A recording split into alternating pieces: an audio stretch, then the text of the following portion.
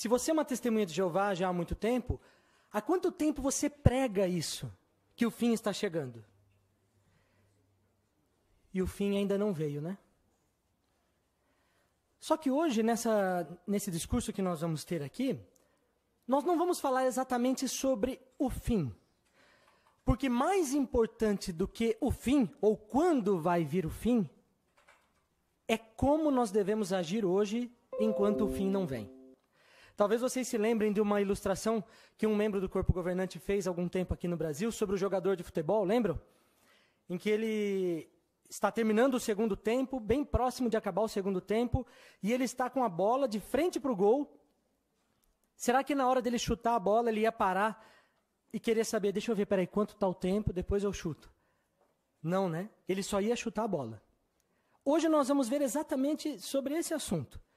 Como nós podemos agir hoje, mostrando que não é o tempo ou quando o fim vai chegar que é o mais importante para nós. O mais importante para a gente hoje é como a gente vai agir hoje. Bom, não resta dúvida de que o fim está muito próximo. Então nós vamos ver primeiro esse aspecto. Qual a certeza que nós temos de que o fim está próximo? Vamos ler um texto bíblico juntos? Aliás, nós vamos ler vários versículos que estão aqui em Mateus, capítulo 24. Mateus capítulo 24, nós vamos ler a partir do versículo 3. Essas daqui são palavras de Jesus em que Jesus estava mostrando quando é que o fim chegaria. Então, por mais que nós dissemos que o quando não é o mais importante, mas é interessante a gente saber quando para a gente poder atuar bem hoje. Vamos dar uma olhadinha então o que Jesus disse em Mateus 24, a partir do versículo 3. Olha, vamos a partir do 4. Jesus, em resposta, lhes disse: Cuidado para que ninguém os engane. Pois muitos virão em meu nome dizendo, Eu sou o Cristo, e enganarão a muitos. Olha agora, vem em que situação nós estamos. Versículo 6. Vocês ouvirão falar de guerras e notícias de guerras. Cuidado para não ficar apavorados, pois essas coisas têm de acontecer, mas ainda não é o fim. Vamos continuar. Porque nação se levantará contra nação e reino contra reino. Vamos parar um pouquinho aqui. Você tem visto isso? As nações umas contra as outras e os reinos divididos. Raramente nós vemos hoje uma eleição, mesmo dentro de um país, que seja, é, que seja muito dividida. As pessoas, ou melhor, que não seja dividida. Antigamente, você já sabia muito tempo antes quem era o líder que ia vencer uma eleição, por exemplo. Hoje as coisas estão bem duvidosas porque nós nunca sabemos. As próprias nações, os povos dentro de si estão divididos e não sabem exatamente o que querem. Vamos continuar. Versículo 7. Porque nação se levantará contra nação, reino contra reino, haverá falta de alimentos e terremotos num lugar após outro. Todas essas coisas são um começo das dores de aflição. Isso nós temos visto bastante. Olha a partir do versículo 9. Então as pessoas os entregarão à tribulação e os matarão. E vocês serão pessoas odiadas, ou melhor, vocês serão odiados por todas as nações. De quem que Jesus Cristo estava falando aqui? Se você der uma olhadinha lá no versículo 3, volta um pouquinho. Enquanto ele estava sentado no Monte das Oliveiras, os discípulos se aproximaram. Jesus estava falando com aqueles que fariam a vontade dele. Olha só, entregarão a tribulação e os matarão. Nós temos visto o que tem acontecido com nossos irmãos na Rússia, na Eritreia, na Geórgia, em vários outros países que nós nem temos noção de que existe, existem testemunhas de Jeová ou discípulos de Jesus. Vamos continuar. No final, no, na parte B do versículo, no finalzinho do 9. Por causa do meu nome. Então também muitos tropeçarão e trairão uns aos outros e odiarão uns aos outros. Surgirão muitos falsos profetas que enganarão a muitos. E por causa do aumento do que é contra a lei, você tem dúvida disso? O amor da maioria esfriará. E não é o que está acontecendo hoje? Cada dia mais, menos amor. Versículo 13. Mas quem perseverar até o fim, até o fim desse sistema e o fim dessas coisas, será salvo. Aí, no versículo 14, acontece uma coisa muito interessante. O versículo 14 é muito conhecido pelas testemunhas de Jeová. Olha, olha só. E estas boas novas do reino serão, é, serão pregadas em toda a terra habitada, em testemunho a todas as nações. Aí sim, e então virá o fim. Para vocês terem uma ideia, essa palavra e então virá o fim é uma palavra grega que, se, é, que é tote. Tote. Esse e então é a tradução de uma palavra grega que é tote. Tote significa algo imediatamente depois. Logo depois. Então, vamos ler de novo, ó. Serão pregadas em toda a terra habitada, em testemunho a todas as nações, e logo depois vem o fim. Se você olhar, essa expressão tote, ela é usada na Bíblia em vários, vários lugares, quando é para dizer de uma coisa que vem imediatamente depois da outra. Sempre é usada essa expressão. O que, que significa? Que quando todas essas coisas estivessem acontecendo e quando as boas novas estivessem sendo pregadas em toda a terra habitada, logo em seguida o fim viria. Hoje nós podemos dizer que o cenário do mundo está basicamente pronto para a chegada do fim. Porque tudo isso aqui já está se cumprindo. Nunca as boas novas foram pregadas em tantos lugares da humanidade como tem sido hoje. E até onde nós não conseguimos ir, a internet chegou e por meio do site JW, pessoas podem ter o interesse. Só para contar brevemente uma, uma experiência para os irmãos e para os interessados, um, um irmão do, de Betel do, de Israel, ele contou uma experiência interessante. Ele disse que é, lá naquele país, em Israel, podemos dizer que é o lugar onde a pregação é mais antiga, porque é lá que começou tudo, basicamente. Mas cerca de 40% das pessoas lá não conhecem a Jeová do jeito correto. Porque temos outras religiões que nos impedem, os governos que nos impedem, muitos dos nossos irmãos são presos, é, então é uma situação complicada. Ele disse que uma senhora, numa cidade de 300 mil habitantes, escreveu e pediu para receber uma visita de uma testemunha de Jeová. Então, um casal de pioneiros especiais viajou seis horas de ônibus até a cidade dela e bateram no endereço que, que tinha falado para ela, que ela tinha escrito, né, pedindo uma visita. Quando os nossos irmãos bateram na casa, não tinha ninguém, e naquele momento começou a vir um monte de líderes religiosos judeus ortodoxos, e eles são um pouquinho, naquele dia estavam um pouquinho agressivos. E então os nossos irmãos tiveram que sair de lá correndo e foram para outro lado da cidade, para um lugar mais neutro. Falou: ó, já que nós estamos aqui, vamos pregar do outro lado da cidade, porque aqui não vai adiantar, né? Aqui é perigoso. E do outro lado da cidade, uma cidade de 300 mil habitantes, cerca de três tatuís, no serviço de pregação, eles bateram numa casa que saiu uma senhora e disse: Olha, eu pedi uma visita para vocês e nunca vieram visitar. Falei, qual que é o seu nome? É Fulana. Era o nome que tinha pedido a visita. Do outro lado da cidade, eles encontraram essa senhora. E é interessante que essa, essa senhora ela se tornou uma publicadora, se batizou. Como ela era a única numa cidade de 300 mil habitantes, ela se mudou para a cidade do, do, é, onde estavam os pioneiros especiais. E hoje ela é uma pioneira junto com eles. Uma pessoa numa cidade de 300 mil habitantes, afastada, ela decidiu servir a Jeová. Hoje as pessoas têm condição porque a pregação está em toda a terra habitada. Está próximo, muito próximo, o fim. Se considerarem 2 Timóteo 3, do 1 ao 5, vamos ver ainda mais sinais de que o fim está tão próximo.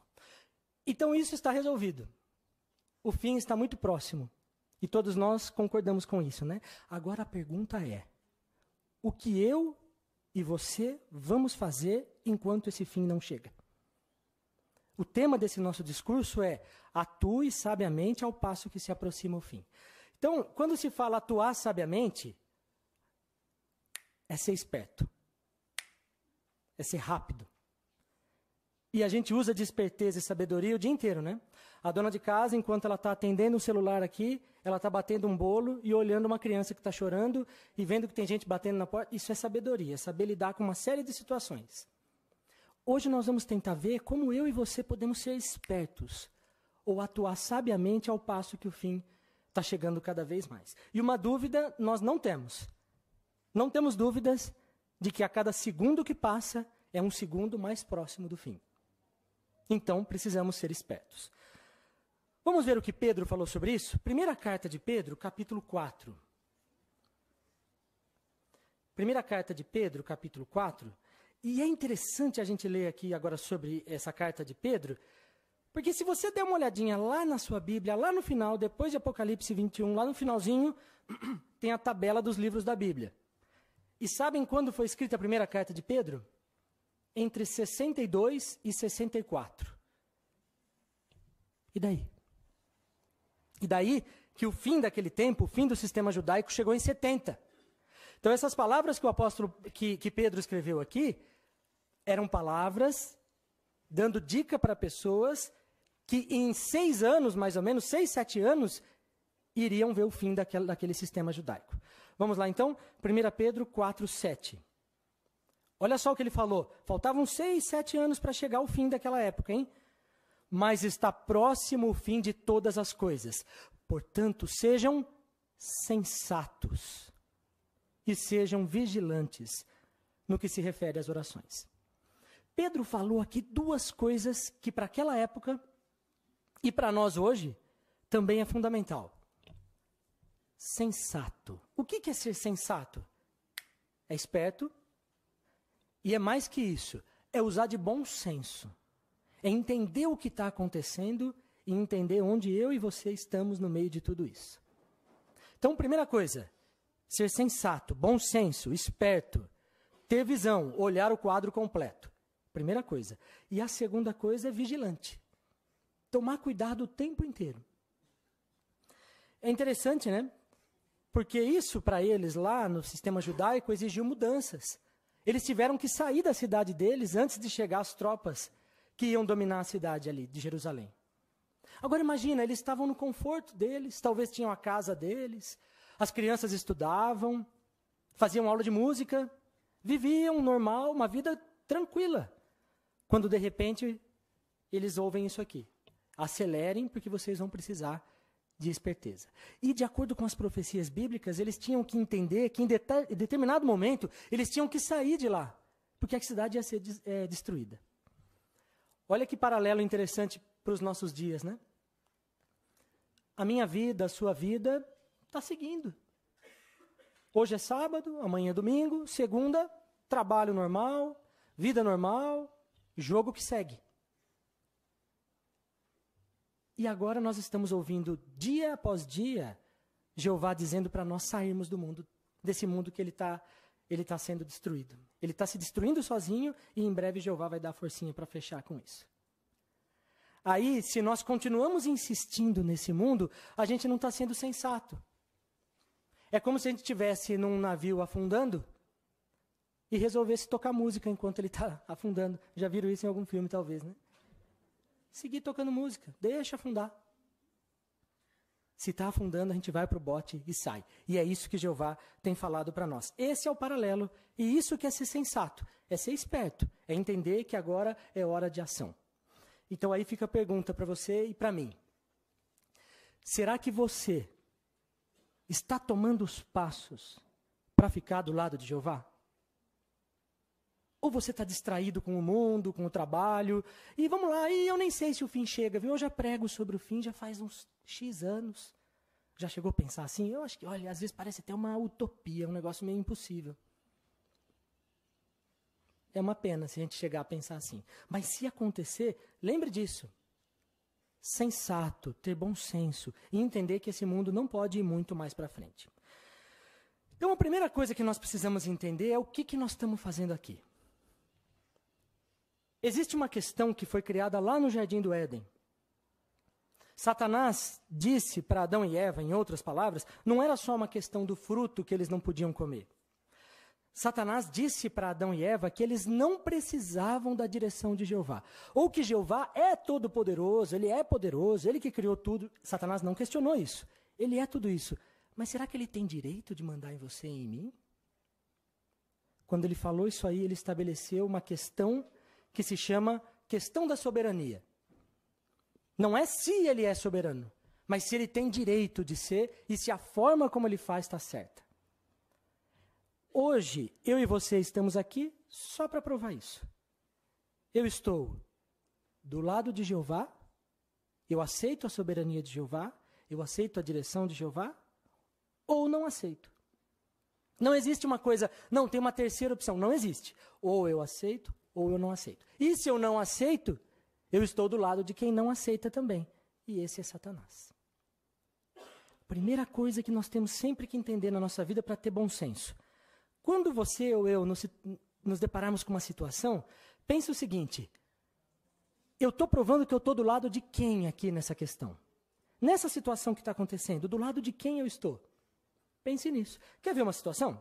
Vamos abrir a Bíblia, por favor? Atos capítulo 15. Texto conhecido entre as testemunhas de Jeová. Atos 15. E nós vamos ler os versículos 28 e 29. Olha só. Ordem de Jeová. Pois pareceu bem ao Espírito Santo e a nós não impor a vocês nenhum fardo além destas coisas necessárias. Falou que era necessário. 29. Que persistam em se abster de coisas, é, abster de coisas sacrificadas a ídolos, de sangue, do que foi estrangulado e de imoralidade sexual. Nesse versículo aqui tem duas coisas que nós mostramos de que lado nós estamos na soberania de Jeová. Uma é quando eu e você estamos diante da vida ou morte, diante de um médico que diz que se você não aceitar sangue, você vai morrer. Se eu for esperto e atuar sabiamente, eu posso pensar assim: quem mandou isso foi Jeová. Quem ordenou, quem deu essa ordem foi Jeová. Ele é o dono de tudo. Se se acontecer de eu morrer, ele pode me trazer de volta. O que hoje, com sangue, é muito raro, viu? Assim, de, de alguém ficar sem sangue e falecer por causa disso, porque existem outros métodos. Mas se, olha, nessa hora eu mostrei de, quem, de que lado eu estou. Olha outro, no final do versículo 29, imoralidade sexual. É interessante, né? Hoje é uma coisa que quase é, é, é total no mundo hoje, né? As pessoas querem e colocam o prazer sexual acima de qualquer coisa, inclusive da relação delas com Jeová. Então, olha como é perigoso. Aqui duas coisas que foram ordenadas para nós, que nós podemos mostrar de que lado nós estamos na soberania e também mostramos se estamos atuando sabiamente ao passo que o fim se aproxima. Bom, mas são outras coisas também. Associações. Hoje, nós estamos num mundo que está indo, está afundando, nós já falamos, é como um navio afundando, né? Com quem que eu estou andando? Com quem que eu tenho tido amizade? Se eu tenho amizade com pessoas que estão do lado de cá, e ouço o assunto deles, e divulgo, e trabalho, e, e, e fico maquinando esses assuntos na minha mente, eu não tenho como ficar desse lado, eu não vou conseguir. Não estou atuando sabiamente. A Bíblia até fala, o apóstolo Paulo falou que más associações estragam hábitos úteis. Ou seja, nosso coração é tombado sempre para o mal, né? Nós somos imperfeitos, né? Aí a gente estuda, estuda, estuda e puxa o cabo de aço, chega até fazer barulho, de tanto que a gente tenta puxar o coração para o lado correto. Vai, é uma luta, a gente fica suado o dia inteiro para fazer o que é certo. Aí eu começo a ter associação com pessoas que não pensam como eu, volta. É, o coração vai voltar. Por isso que se fala, más associações estragam hábitos úteis que eu e você lutamos para desenvolver. Seja esperto. Não ande com quem não, não pensa da mesma forma que você ou da mesma forma que Jeová. Só que aí, já que agora você encontrou amigos cristãos, pessoas que pensam assim como você, vale a pena você fazer uma outra avaliação.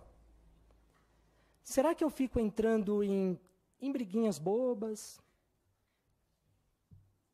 Será que eu tenho mágoa com algum dos meus irmãos? Pense um pouquinho no seu caso agora. Tem alguma coisa que não está resolvida entre você e algum irmão? Ele está aqui hoje? Que tal resolver? Sabe o que, que é isso? Esperteza. Agir sabiamente. Porque você vai precisar dele. Você não faz ideia, mas você vai precisar dele e ele precisa de você. E lembram-se que Jesus falou que o amor ia ser a característica que identificaria o povo dele, né? Como posso estar brigado com alguém aqui dentro, dentro do coração, onde Jesus falou que ia ser conhecido por amor? Agir com esperteza, sabedoria nesses últimos dias. Para a gente obedecer, inclusive, as coisas que estão vindo, porque a gente espera muito o fim. Mas se eu falasse hoje para você, gente, o fim foi agendado. Amanhã às três começa. Às três, hein? Vai pegar o dia da família em Betel. Mas amanhã às três. Você, qual seria a sua situação hoje? Você fala, ah, isso mesmo, vem, enfim, três horas, marcado. Ou você, uh, às três não dá. Até lá não, eu também tenho coisa para resolver. Você hoje se considera pronto? Olha, é difícil demais alguém dizer, eu estou pronto, que vem o fim. A gente nunca deve achar que está fazendo 100% a vontade de Jeová, porque nós não estamos. Então aproveite. A gente não sabe se vem amanhã às três, e se vier, vão dizer que eu sou profeta, mas não, não sei, eu não estou sabendo de nada. Mas digamos que não vem amanhã às três. Que tal você aproveitar o dia de amanhã, e segunda, e terça, e enquanto não vier, desenvolver sabedoria cada vez mais para quando vier o fim. Sabe por quê? Porque quando o fim vier, e nós queremos muito que venha, lembra-se que depois do fim vem o milênio. Às vezes a gente imagina, ah, vem o Magedon, novo mundo. Vem o milênio. Por exemplo, hoje, será que eu tenho dificuldade de aceitar a orientação dos anciãos? Nada a ver o que ele falou. Onde já se viu? É, não tem nenhum sentido. Ou aquele esclarecimento ali da Bíblia está errado, o certo é outra coisa. Agora vamos lá pensar: no Armagedon, o que, que vai ser destruído? Sistema financeiro, sistema comercial, sistema político. E o mundo está sem administração. Começou o milênio. Quem que vai estar tá na administração?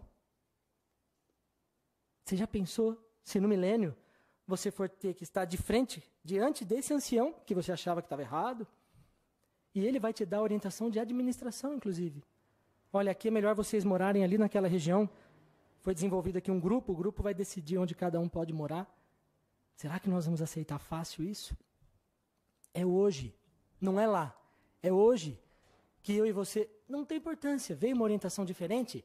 Jesus e Jeová têm a congregação na mão. Se os anciãos estão errados, eles é que vão se ver com isso. Eu vou obedecer. É isso que a gente tem que fazer para estar preparado lá na frente. Que outras coisas eu e você podemos fazer hoje para estar preparado lá para frente? Dá uma olhadinha, Gálatas, capítulo 5. Notaram como a gente pensa muito no fim? A gente quer o fim, e o fim tem que vir mesmo e vai vir. Mas tem muita coisa para hoje ainda, viu? Para a gente fazer. Olha os 5, 22 e 23. Vê se você, avalie, avalie o seu caso, eu vou avaliar o meu. Vê se nós estamos conseguindo, se você está conseguindo desenvolver essas características que nós vamos falar. São características geradas pelo Espírito de Jeová. Vamos lá. Por outro lado, o fruto do Espírito, ou o resultado do Espírito, da atuação do Espírito de Jeová na nossa vida, é isso aqui: amor. Como está o seu amor? Ama os irmãos? Consegue amar o seu cônjuge? Está amando mesmo? Alegria. Está meio tristinho? É normal, né? Mas você tem alegria de saber isso? De saber que a gente serve o Deus Todo-Poderoso Jeová e o fim está tão próximo? Paz. Tem coisa para resolver? Paciência. Olha, isso aqui a gente precisa muito até sobre esse aspecto do fim que nós estamos falando. Bondade, benignidade, fé, brandura, autodomínio. Essa é fundamental, né?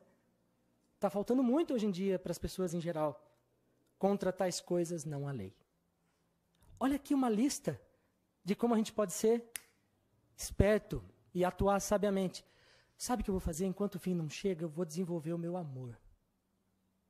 Eu vou desenvolver mais o meu autodomínio. Quando alguém falar um negócio para mim, eu quero devolver com calma. Puxa. Fechou. Consegue? Tem que contar ovelhinhas, tem que pensar em qualquer outra coisa para não subir em cima. Calma, né?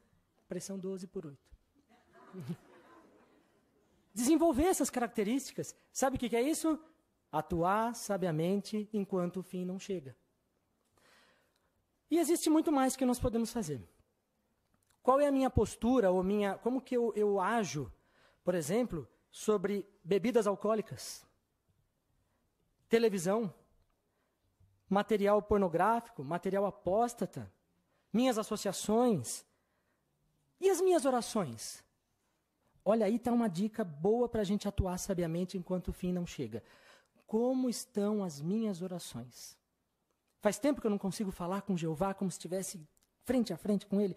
A grande verdade é que Jeová já sabe o que você sente. Jeová já sabe qual é o seu problema, inclusive. Então por que você não fala para ele? Ué, mas se Jeová sabe, o que, que muda eu falar para ele? Lembre-se que nós lemos agora há pouco, Pedro falou, vigilantes nas orações. Enquanto o fim não chega, vai orando, vai orando, vai orando. Diga para Jeová, Jeová, o Senhor sabe o que eu estou sentindo, né? O Senhor sabe que eu desanimei. Tem coragem de falar isso para ele? Às vezes, Senhor Jeová, parece que eu, eu sinto que é como se o Senhor não existisse. Se você pensa isso, diga para Jeová, porque ele já sabe e peça ajuda. Me ajuda a confiar mais. Quantas vezes Jesus e os discípulos, os apóstolos ensinaram a gente a pedir mais fé? No fundo é isso, Jeová, me ajuda a ver o Senhor como verdadeiro. Se você está tendo dificuldade disso, peça isso para Jeová. Senhor Jeová, o Senhor sabe o que eu sinto sobre aquela pessoa, eu não posso ver a cara dele. Diga para Jeová. Jeová, me ajude a saber e ore por ele. Faça aquela pessoa que, que dê certo aquilo, aquilo outro. Ajude ele a ser uma pessoa melhor e me ajude a entender ele melhor. Por que, que ele é desse jeito? Abre o jogo. Porque nós precisamos ser amigos de Jeová para sobreviver. Bom, lá para 62, 64, ano 62, 64, o apóstolo Pedro falou aquilo lá. Só que Pedro não parou aí. Uns dois anos à frente, olha, estava faltando só uns quatro a cinco anos para chegar ao fim. Ele falou mais uma coisa. Vamos dar uma olhada? Segunda carta, agora a segunda carta de Pedro. Segunda de Pedro, capítulo 3. Segunda de Pedro 3, versículos 11 a 13. Olha só o que diz. 3 do 11 a 13. Visto que todas essas coisas serão dissolvidas dessa forma, ele estava falando dos sistemas políticos, comerciais, os sistemas mundiais, vão ser dissolvidos, nos versículos anteriores falou isso. Pensem em que tipo de pessoas vocês devem ser. Devem ser pessoas de conduta santa, procurar ser diferente desse mundo e praticar atos de devoção a Deus, ao passo que aguardam, paciência, e têm bem em mente a presença do dia de Jeová, que está chegando, pelo qual os céus serão destruídos em chamas e os elementos se derreterão com o calor intenso falou novamente, o fim do sistema político e dos elementos desse mundo. Mas qual que é a, a palavra que ele falou aqui, faltando quatro a cinco anos para chegar ao fim? Pense que tipo de pessoa você tem que ser, seja vigilante e tenha bem em mente o dia de Jeová. Tudo isso que nós vimos foi só um pouquinho da esperteza que a gente tem que ter nesse mundo de hoje. Não fique pensando só no fim. Pense no hoje. Quando a gente pensa hoje, fica muito mais perto, vai ficar muito mais fácil a gente apreciar a viagem que nos leva até o fim. É como se todos nós, irmãos, estivéssemos num ônibus ou num trem. Não tem outro caminho, é melhor um trem. Ele está no trilho, não vai sair. É Jeová que fez isso. Não tem como dar errado. A gente hoje desistir ou não agir sabiamente seria esse tempo que nós estamos ali sentados no trem, aproveitar com coisas que não valem a pena ou coisas que nos façam cair do trem, sair do trem. Quando a gente fica é, com briguinhas, ou não confia nas orientações, ou se envolve em moralidade, ou qualquer outra coisa que não seja da vontade de Jeová, é como se a gente quisesse ir na janela do trem. Tem curvas. O mundo está cheio de curva. Eu e você podemos cair. E não é o que a gente quer, né? Por isso, aproveite a viagem e atue sabiamente, ou seja esperto, enquanto o fim não chega.